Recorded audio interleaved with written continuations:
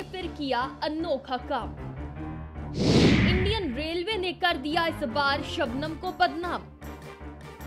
Corona ने लगा दी मीलों पैदल चलने की लत। कोहरे के नाम पर रेलवे ने की दो महीने के लिए 45 ट्रेनें रद्द। देखिए वीकेंड चर्चा शाम पाँच बजे सिर्फ़ और सिर्फ़ प्राइम टीवी पर।